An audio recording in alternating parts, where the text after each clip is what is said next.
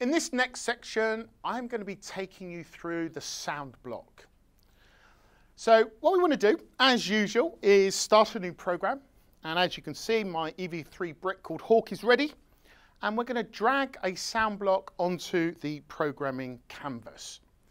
Um, and I'm going to play that sound. It's called Mindstorm, so it should be, it's the default sound whenever we drag a sound block in. So let's play it. We're going to drag it in. Notice it takes a, a little bit longer to download. That's because it's a sound file. Mindstorms. And here we've got the word Mindstorms being played. Now I can actually quite easily change it from Mindstorms. I can click on the actual word, it brings up all the folders with all the different sounds in, and I can choose another sound. Let's do boo as an example. Press play and download. A little bit longer, just bear that in mind, it's just the sound file. And it's played the sound boo. Now there are two parameters that you can see on the uh, sound block. The first is the volume. Very straightforward, how high or how loud or how soft do I want the sound to be. The second parameter takes a little bit more explaining. This is called the play type, and there are three options. I'll explain them, then I'll do a demo. So the first one is wait for completion. Okay, now wait for completion We'll play the sound once, and the program will wait for the sound to finish before it continues. The next one is play once, the sound gets played, but the program continues immediately. And then we have the repeat. The sound will be repeated continuously until another sound block is executed or until the program finishes.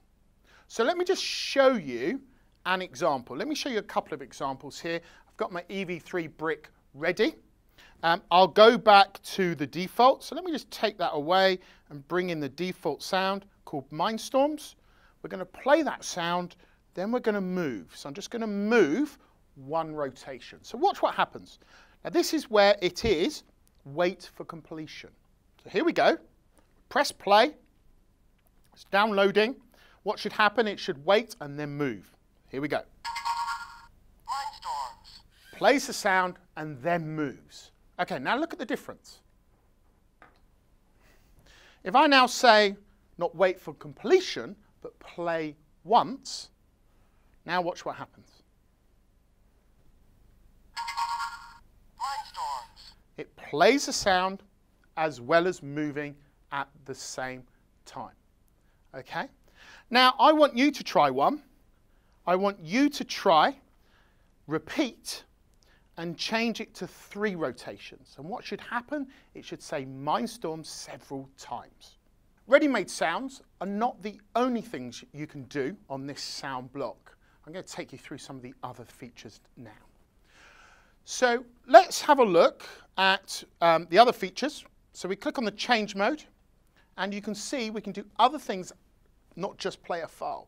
We can play tones, we can play notes and we can record our own sounds. I'm going to show you how to play a tone and how this works. Um, this is all about hertz, and we have a hertz range between 300 and 10,000. So if I choose a hertz range of, let's say, 3,000, hit the play button, we should get a tone come up. That's quite a high tone that was. Uh, and uh, you can do little experiments to see how many hertz you can play until actually you can't hear it anymore. That's quite a fun one to do. So what else can we do? Well, if I click back onto the change mode, let's play a note. And here, I can play a piano keyboard. So I can choose different notes. So here I'll, ch I'll choose middle C, hit the play button, and it's played a middle C for me. So I'm going to go back to the main menu for a moment. And this is going to be a nice little feature I wanted to show you. You can rename your files. Really important so you don't end up having program one, program two, program three, etc., etc.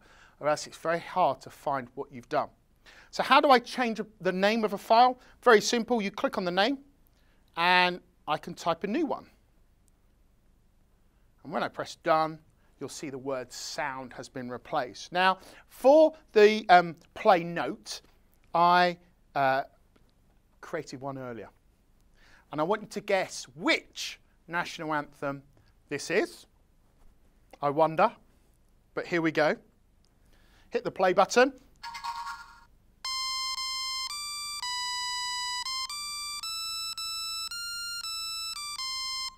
Okay, I'm not that musical, I think I did a pretty good attempt.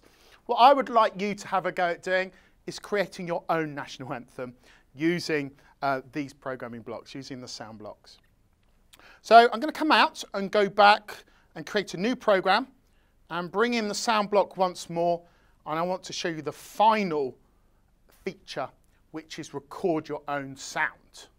Okay, I can record eight seconds worth of sound using the tablet's microphone. And let me demonstrate how this works. So I click on record sound and you can actually see the microphone pulsating saying click me. And if I click, it actually prompts you to give it a name. So I'm just going to say uh, welcome. And when I start recording, I have eight seconds. So I'm just going to say welcome, welcome to your e-learning.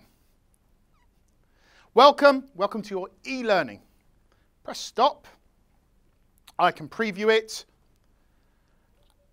and I can then play it. So if I hit play, now sound files do take up longer, do take up bigger file sizes, so the download time will be much greater if you've got eight seconds of sound that's been recorded. So always bear that one in mind. That's just the nature of a sound file. Same with images as well.